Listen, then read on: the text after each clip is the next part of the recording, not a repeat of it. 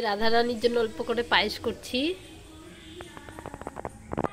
আজকে রাধারানী পুরো সেজেছে ফুল দিয়ে।